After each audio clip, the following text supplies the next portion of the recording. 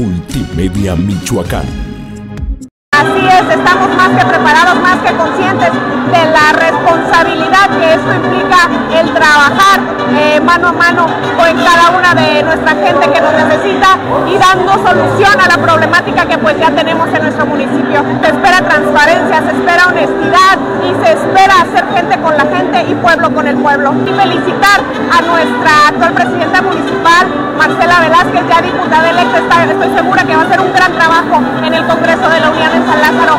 Felicidades, Presidenta, enhorabuena. Mujeres como tú son las que necesita nuestro país. Multimedia Michoacán.